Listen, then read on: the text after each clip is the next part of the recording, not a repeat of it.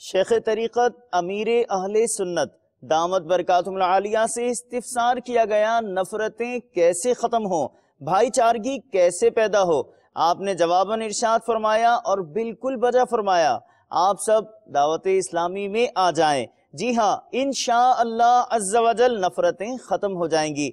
योम फ़ुरक़ान, योम बदर पर हुआ मदनी मुजाकरा।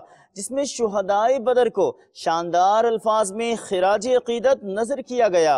बाद जहर सवालत व जवाब जबकि बाद तरावी सिलसिला इयादत भी हुआ। मुख्तसरन झलकियाँ मुलाहजा कीजिए। अगर कोई गैर मुस्लिम बड़े ने मुसलमान थी चाहे तो उनके किन तरीके से मुसलमान करूँ? ने जी किन तरह तरकीब दी उनके? कोई गैर मुस्लिम अच्छे ने चोई के मिके मुसलमान थीणो है तो फ़र्ज़ है कि फ़ौरन इनके मुसलमान करी दिए। मिसाल जे तौर ते कोई आतश परस्त आवियो, आग पूजन वारियो, या कोई समझो क्रिश्चियन आवियो तो इनके चोई के चो कि हाँ क्रिश्चियन मज़हब से तोबा करा तो। पची इनके कलमू पढ़ाई दे।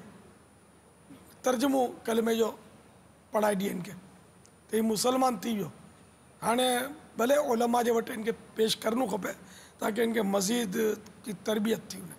सौतेली माँ क्या क्या हुकूक होती है? इसकी भी खिदमत करे कि इसमें आपके वालिद की खुशी है। वालिद की खुशी भी अच्छी है और उसके दिल में भी खुशी दाखिल होगी। अलबत्त इसके वो हकूक़ नहीं है जो सगी माँ के थे लेकिन इसके साथ उसने सलूक तो करना ही करना है।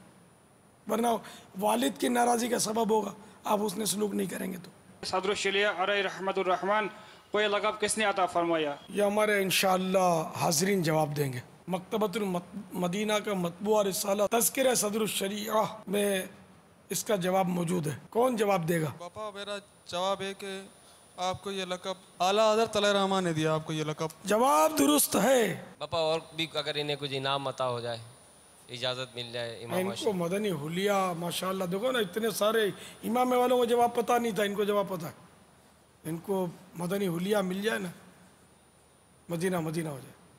वनी इमाम ईसान बेदन एन मुख्तदी बतेकन हैकुम बेचलात हैनकुम इन दर्द रखत एन है खा जोल्स इमाम दून इमाम खात इन दर्द रखत खाद सलाम दून।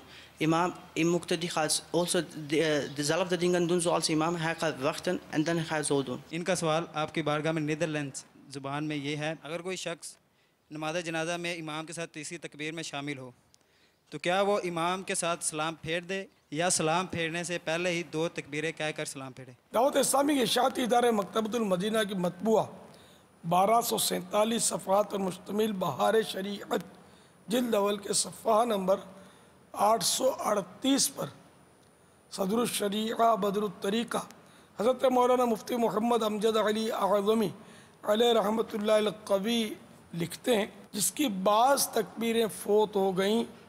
वो अपनी बाकी तकबीरें इमाम के सलाम फेरने के बाद कहे।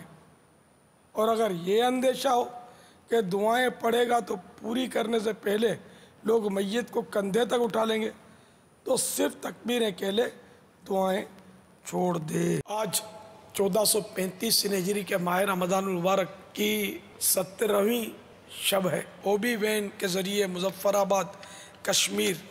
पाक चनासी काबीना ने इंटरनेट धनोट ज़िला लौधरा पाक हक्कानी काबीना मेरा नाम मोहम्मद उस्मान अतारी है। समानुम अख्तर जेबदे अवजर जिल्लदीर बाला उसीदुन के यमा मुंहिंजो नालो हसन बख़श मरी नवाब शाह खां आयल आहियाँ टी ॾींहंनि जे लाइ इतकाफ़ ते मोहम्मद शहबाज अतारी।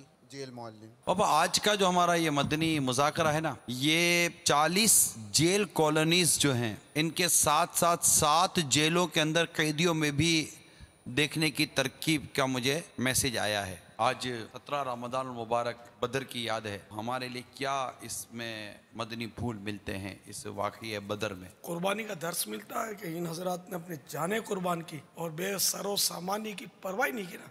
उस वक्त मुसलमान बहुत ही मतलब आजमाइशों में थे। माली एतबार से भी बहुत आजमाइश थी और अफराधी क़वत भी काफ़ी कम थी। सिर्फ़ तीन सौ तेरह ही तो थे और सामने एक हज़ार का लश्कर जर्रार। यहाँ तो पूरा सामान जंग भी नहीं था इनके पास। फिर भी ये हजरात, अल्लाह के भरोसे पर कूद गए और दुश्मनों के दांत खट्टे कर दिए इन्होंने। जो पाड़ेसरी जो घर में मुर्गी आहिनि उहो अची असांजे घर में गंदगी कनि त उन जे लाइ छा फरमाईं। पड़ोसियों को तकलीफ़ हो अगर अपनी मुर्गियों से तो फिर इस तरह मतलब ये कि जायज़ नहीं है कि अपनी चीज़ों से पड़ोसियों को ईज़ा पहुँचे बल्कि किसी मुसलमान को भी ईज़ा नहीं होनी चाहिए। क्या आप किसी ऐसे नबी का नाम बता सकेंगे जिन्होंने जेल को अपने कदमों से मुशर्रफ फरमाया? प्यारे नबी थे यूसुफ अलैहिस्सलाम। जवाब दुरुस्त है। जो मर्द अपनी औरतों को कहते हैं कि अपने मेके से पैसे ले आओ या फलां चीज़ ले आओ, अगर वो अपने मेके से ना लेकर आए तो उसको मारते हैं। इस बारे में क्या इरशाद फरमा रिश्वत है, हराम है, ये भत्ता है, ये भत्ता खोर है इसका मतलब। खानदान पर रोप डालता है। लड़के वालों का चूँकि दबा हुआ पहलू होता है आमतौर पर, यहाँ पर हमारे यहाँ तो ये भत्ता मांग रहा है।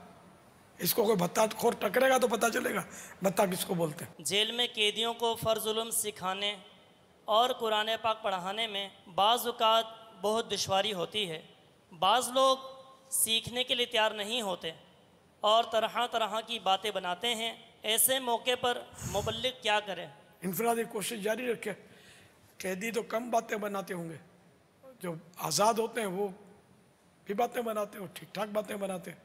लेकिन फिर भी देखो हज़ारों जमा है ना यहाँ। तो इन हमारे साईं भाई सब्र जब्त के साथ बार बार बार बार बार बार इनफरादी कोशिश करते रहेंगे तो मदीना मदीना हो जाएगा। जैसे पत्थर है, इस पर पानी का कतरा पड़ा तो कुछ भी नहीं होगा। फिर प- कतरा कतरा गिरता रहे गिरता रहे कुछ नहीं होगा। मगर एक दिन आएगा कि आहिस्ता आहिस्ता आहिस्ता वो पानी का कतरा गिरते गिरते उस पत्थर में सुराख डाल ही देगा।